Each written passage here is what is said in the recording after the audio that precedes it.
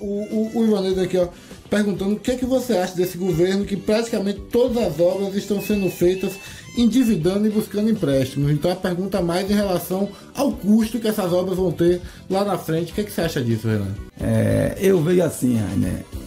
Uma prefeitura, ela não vai tomar um empréstimo. Se ela vai tomar um empréstimo, porque pode tomar um empréstimo. Porque o banco não vai ser aleatoriamente o governo emprestando dinheiro a uma pessoa que não possa pagar. Como esses empréstimos são a longo pra, longos prazos, coisa de 10, 15, 20 anos, quando chega nas parcelas finais dessas, dessas, desses empréstimos, esse dinheiro não está valendo mais de nada. Agora é assim, agora o correto é pegar o empréstimo e realmente fazer o que eles dizem que vão fazer com esse empréstimo. Vamos supor agora, o prefeito quer 35 milhões de empréstimo para fazer 57 ruas em Alagoinhas.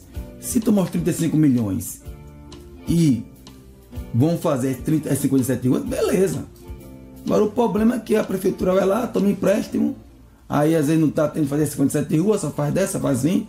O outro que entra diz que não, não achou dinheiro, que não sei o quê. É complicado é isso.